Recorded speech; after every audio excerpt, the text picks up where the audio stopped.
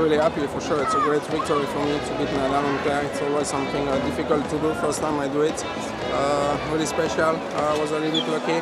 Uh, in the first set, was down in the tie break, but uh, I got uh, relaxed a little bit myself, tried to play a little bit more aggressive, and in general, I'm, I'm really, really happy with the way I'm playing so far. And you've got Roger next in the semis. How do you feel about that? It doesn't get any easier for you. Uh, there is no easy match. It doesn't matter when you play quarterfinals, semis, or, or before. Or you have to fight for sure against Roger. It's always difficult for me. He's playing well. His game is so tough for me. He's playing so aggressive. He's been playing really well from the beginning of the week. So I'm expecting a tough match. I need to, to rest, get ready for tomorrow night. But uh, I'm happy so far with my week.